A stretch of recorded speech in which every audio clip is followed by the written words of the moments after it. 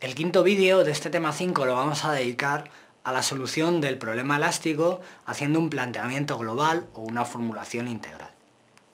Entonces, eh, recordar que en el problema elástico pues teníamos eh, unas cargas exteriores actuando sobre un sólido que estaba en equilibrio y además conocíamos las eh, condiciones de contorno. Y nuestro planteamiento era cómo podemos unir todas estas ecuaciones que conocemos para calcular eh, pues todos los datos que actúan, que todas las incógnitas que tenemos en este sólido, las componentes del tensor de tensiones, las componentes del tensor de deformaciones y las componentes del campo de desplazamientos. ¿Cómo podemos averiguar qué está pasando realmente en ese sólido?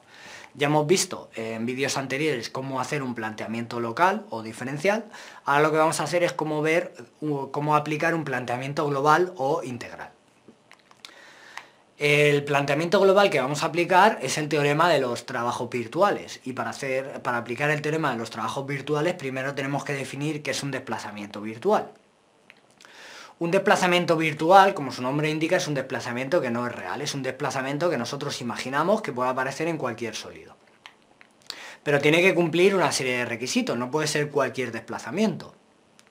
Por supuesto, tiene que cumplir todas las hipótesis que hemos planteado en la elasticidad, es decir, tenemos que mantener las hipótesis de pequeñas deformaciones. Y además también tiene que cumplir los, eh, las condiciones de contorno, tiene que ser un desplazamiento físicamente posible. Y al ser virtual, pues no tiene por qué ser real, es cualquier desplazamiento que nosotros imaginemos.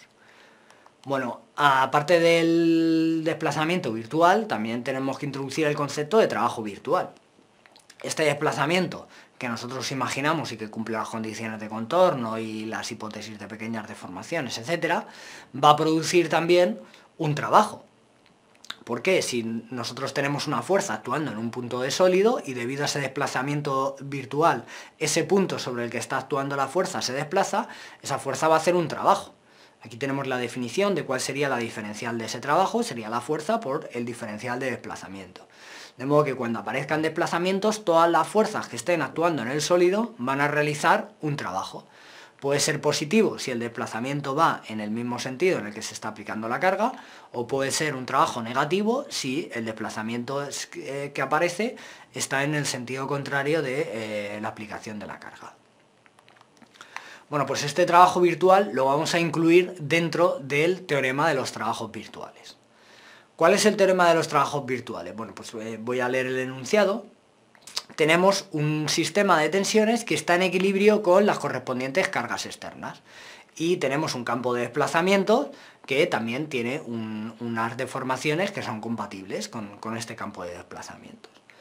Bueno, pues lo que dice nuestro teorema es que el trabajo que realizan las tensiones sobre las deformaciones, es decir, ese trabajo interno, tensión-deformación, tiene que ser igual al trabajo que realizan las cargas exteriores sobre los desplazamientos.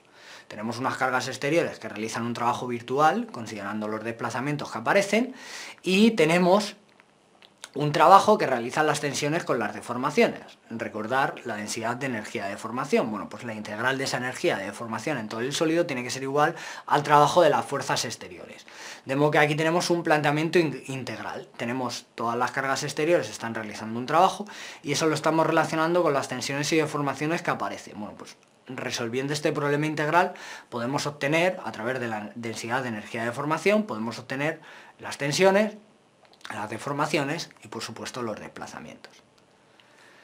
Eh, en este planteamiento global también vamos a plantear eh, los que llamamos teoremas de reciprocidad. Existen dos teoremas de reciprocidad y que también van a ser muy útiles para resolver eh, distintos problemas dentro del campo de la elasticidad. El primer teorema es el que llamamos teorema de los trabajos internos. Es decir, tenemos un sólido deformable sobre el que se están aplicando dos estados de carga distintos, el estado 1 y el estado 2. Bueno, pues lo que dice este teorema de la reciprocidad es que el trabajo interno de las tensiones en el primer estado sobre las deformaciones del segundo es igual al trabajo de las tensiones del segundo estado sobre las deformaciones del primero. Es decir, yo puedo coger e integrar no las tensiones del primer estado con las deformaciones del primer estado, sino que los mezclo, integro las tensiones del primer estado con las deformaciones del segundo. Y si hago lo contrario, integro las tensiones del segundo con las deformaciones del primero, obtengo el mismo valor. Entonces, ¿a qué podemos aplicar esto? Vamos a ver primero el, segundo teorema de reciprocidad y luego vamos a ver un ejemplo que, nos va a eh, ilustrar para qué lo podemos aplicar. Bueno, el segundo teorema es el teorema de los trabajos externos. Eh, tenemos lo mismo, tenemos un sólido deformable sobre el que se aplican dos estados de carga distintos.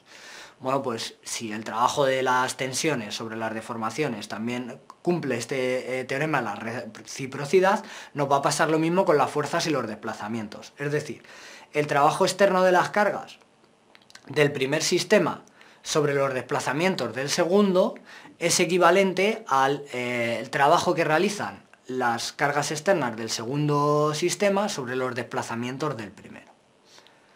¿Y a qué podemos aplicar esto? Bueno, pues vamos a ver un ejemplo.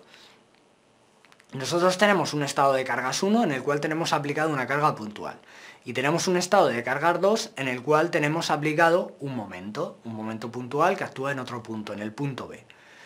Bueno, pues eh, lo que nos está diciendo este teorema es que el momento, el trabajo que realizaría el sistema 2, es decir, el momento que estamos aplicando en B, multiplicado ¿Cuál sería ese trabajo? Sería el valor del momento multiplicado por el ángulo de giro en el estado 1, es decir, el ángulo de giro de ese punto B cuando aplicamos la fuerza, no el momento, cuando estamos aplicando la fuerza. Bueno, pues ese trabajo, que es el momento en el estado 2 por el giro que aparece en ese punto, pero en el estado 1, es igual a la fuerza que aplicamos en el estado 1 por el desplazamiento vertical que aparece en ese punto en el que se aplica la fuerza, pero en el estado 2 en el punto distinto.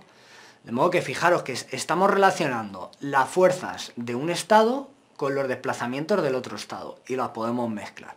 ¿Para qué nos puede servir esto? Bueno, pues en la siguiente parte de la asignatura, en resistencia, lo que vamos a ver es cómo calcular desplazamientos en vigas. Entonces, eh, fijaros que vamos a relacionar los desplazamientos de un estado de cargas con los desplazamientos y los giros que aparecen en otro estado de cargas distinto.